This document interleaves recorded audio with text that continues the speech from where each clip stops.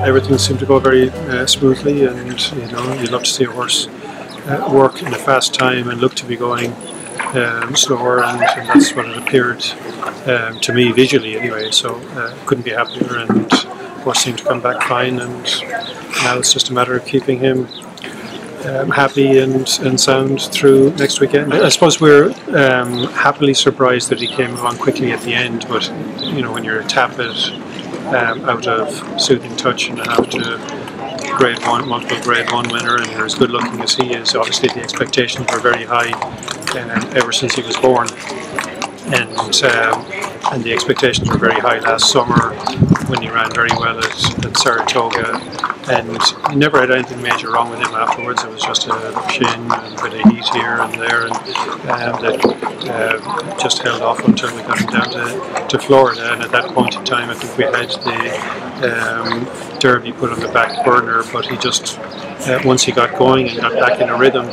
he just came forward very, very, very quickly, and, and everything has um, went so well since then that um, we just let the horse um, take the ball and run with it, and and here we are. And I think it's it's the horse that has been telling us that he's good enough to be here. So um, that's a nice position to be in. Yes, and I assure there was absolutely no pressure from the Juddmonte side to be here or to go here. It was all um, entirely up to Bill, and if he was comfortable being um, in the position of, of, aiming for the Derby, it's a, it's a tough race to get to, let alone to um, to win. And we've had horses that we hoped uh, would be contenders, but it's um, one of those races that you know if you stub your toe any time after about August, September, their two-year-old year, uh, you're not going. You have to give a horse a little bit of a break.